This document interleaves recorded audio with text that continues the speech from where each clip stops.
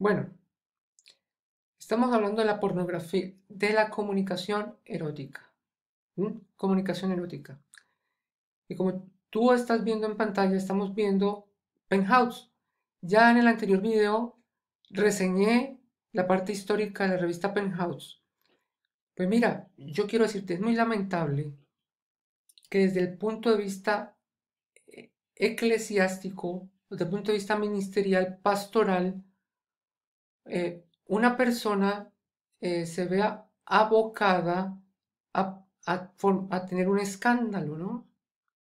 A tener un escándalo que pueda comprometer eh, seriamente las bases del cristianismo. Pero yo te voy a decir algo. la, la responsabilidad personal está, ¿no? A ver, quien decide o sea, si, si a una persona le colocan, le colocan en una mesa, en una mesa, eh, una pastilla de, de, una pastilla de eh, anfetamina, anfetamina, y le colocan eh, un vaso, un vaso lleno de, de, de, de puede ser, ¿no? De vodka, es la persona que, es la persona que dice, ¿me lo tomo o no me lo tomo? Si me lo tomo, pues asumo las consecuencias. Si no me lo tomo, pues me levanto y salgo de, de, de ese bar y olvídate jamás, ¿no? Olvídate jamás. O sea, es la responsabilidad personal, ¿sí? La que Dios le coloca al ser humano. ¿Tú me aceptas o no me aceptas? ¿Sí? Si me dices no, bueno, hasta aquí. Ah, si me dices no en, este, en esta oportunidad, ¿y qué es decirle no a Dios, no? Decirle no a Dios es aceptar el proyecto 666, el proyecto Babilonia, ¿sí? Es aceptar como, es aceptar eh, que aquellos que se llaman pecados capitales hagan parte de tu vida. Decirle no a Dios de plano. Decirle no a Dios de plano es, es, es contravenir su palabra, ¿no? Y yo te lo puedo decir de la siguiente manera. Decirle a Dios de plano es decirle como una frase muy fuerte para, para, el, para, el, para el entorno eh, para entorno de Galicia, hay una frase que es, una frase, ¿no? Que se llama que cuando, que me cago en, ¿no? Eso es algo inadmisible, me cago en, ¿no? O, me, o, me, o, me, o me hago ese en, ¿no? Y mira, y, yo te estoy diciendo a ti algo, ¿no? Y yo alerto a todo el cuerpo pastoral y ministerial de América, ¿no? De América, ¿sí? Desde Estados Unidos hasta Tierra del Fuego, ¿no? Desde Estados Unidos, desde Canadá a Tierra del Fuego, ¿no? Desde Oceanía hasta Rusia, por favor. Proyecto, ¿qué es esto, no? Te lo voy a reseñar. Te lo voy a reseñar. ¿Qué es el proyecto 666? Es decirle, mira, es decirle a Dios, es decirle a Dios, eh, es decirle a Dios como, como tú lo acabas, como tú lo acabas de, escuchar, ¿no? Es decirle, ¿eh? dice, eh, cuando los que no creen en Cristo ofrecen algo, se lo dan a los demonios y no a Dios. Y yo no quiero que ustedes tengan nada que ver con los demonios. Los demonios. Pero bueno, tratemos el tema eh, en conjunto de Penthouse. Mira, es muy lamentable que Jimmy Sugar, Jimmy Sugar, un, eh, uno de los pastores más, más, preponderantes de sana doctrina de, la década de los de la, de la década de los 1980s y 90s se haya visto en una relación eh, marital de adulterio con una sexoservidora. Es muy lamentable que un, eh, que un, eh, eh, un reconocido pastor, un reconocido, un reconocido pastor de, de, de Norteamérica haya, ¿sí? haya tenido un affair, me parece muy lamentable, ¿no? Un Holy Row, ¿no? O sea, en vivo, en vivo, eh, eh, un no santo, ¿no? O sea, como un, un holy, ¿no?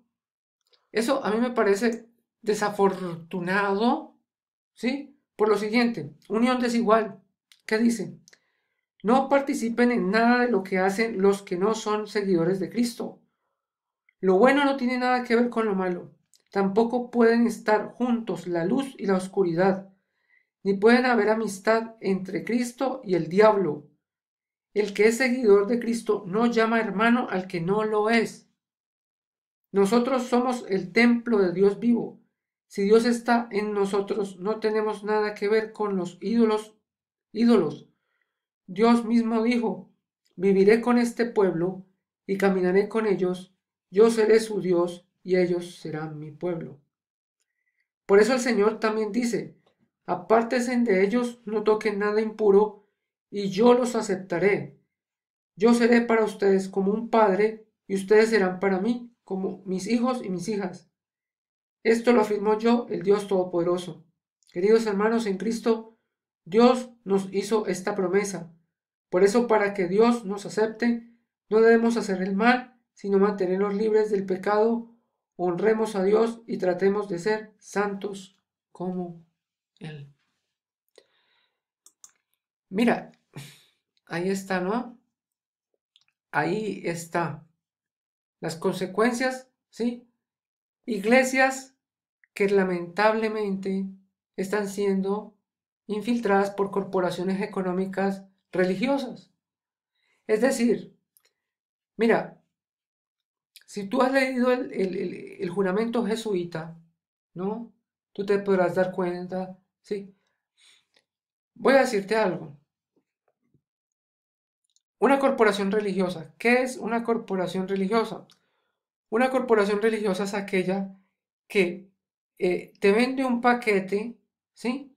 De eh, superación personal y eh, charlas de liderazgo, pero un liderazgo amañado para que tú compres más material de más material eh, bien sea no de nepotismo o bien sea de totalitarismo como quien dice eh, o sea el líder de la secta de la religión corporativa ¿sí? saca un taller no sé el empresario espiritual y aumenta tus ventas, ¿no? Pero este, o sea, el toque de Midas, ¿no? El que dicen el, Midas Touch. Pero una persona, una persona que tiene el toque de Midas, ¿sí? No le hace daño a, un menor de edad, no le hace daño a una sociedad entera, ¿no? Sino que antes la valor, o sea, ¿sí? O sea, aquel que, ve la, el, componente ayuda, ayuda o, el componente influencia positiva.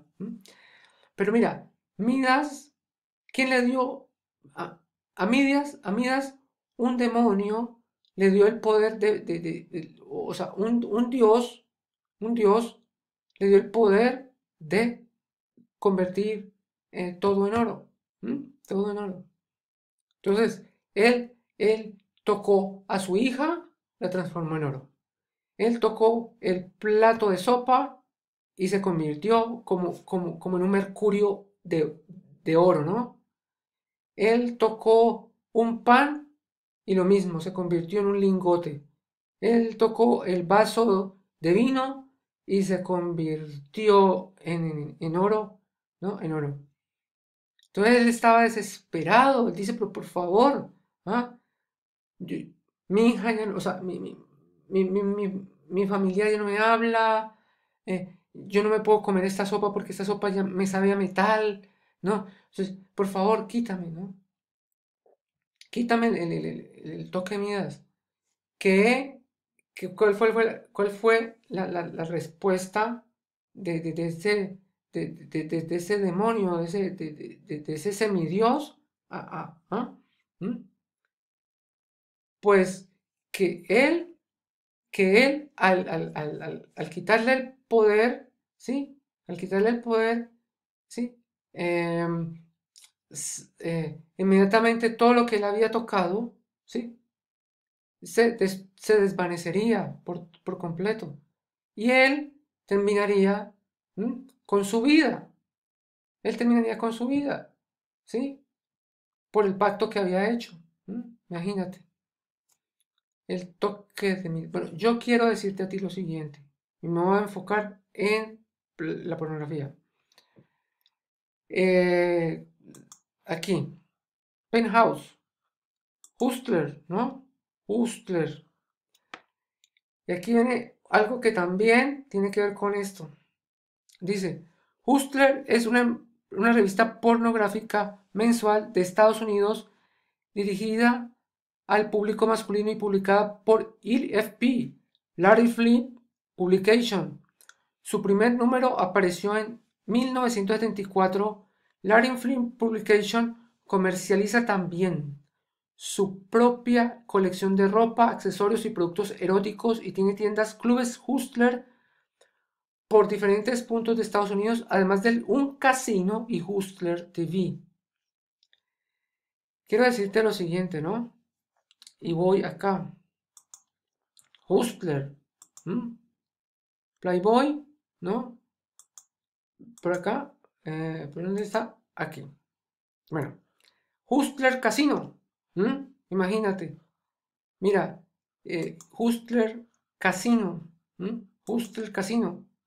¿No? Y eh, mira lo que es, ¿no?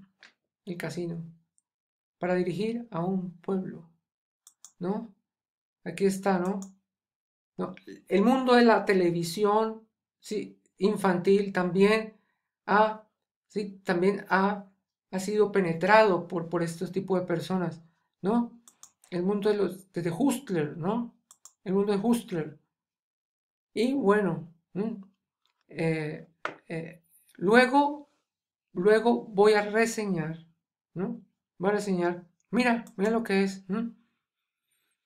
Mira, Diana Londoño lanzó su bibliografía, Room Service, aquella persona que causó ese revuelo en el Hotel Caribe, eh, en el Hotel Caribe de Cartagena, en la Cumbre de las Américas, ¿no?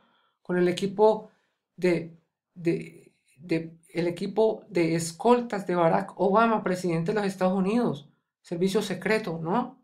Mira, Mira, ¿a dónde puede llegar una persona, sí, que se permita tener inversiones en este tipo de situación, ¿no? Room service, ¿no? Playboy. Bueno, por aquí. Esto, mira, desde el Kama Sutra hindú, hindi, hasta este día. Este día. Es la conexión, ¿sí? cine pornográfico. Cine pornográfico. Y ahora voy, cine pornográfico. Ahora voy a explicar algo del, algoritmo de Google y cómo ustedes pueden, con una herramienta, con una herramienta, ¿sí? Con una herramienta, eh, poder, ¿sí? Poder hacer que su navegador sea completamente seguro, ¿sí? Yo voy a explicar un tutorial muy, muy, muy, muy básico, ¿no? Para que tú lo, lo apliques en tu navegador con una extensión o con un complemento que le llaman. Bueno, dice cine pornográfico. El cine pornográfico, también llamado cine porno, es aquel que explícitamente muestra genitales mientras se realiza el acto sexual, cuyo propósito es el de excitar al espectador, ¿no? San Fernando Valley, California, Los Ángeles, y Hollywood, como también los dibujos hentai. En el próximo ya viene Revelación Oficial Internacional, el canal oficial de la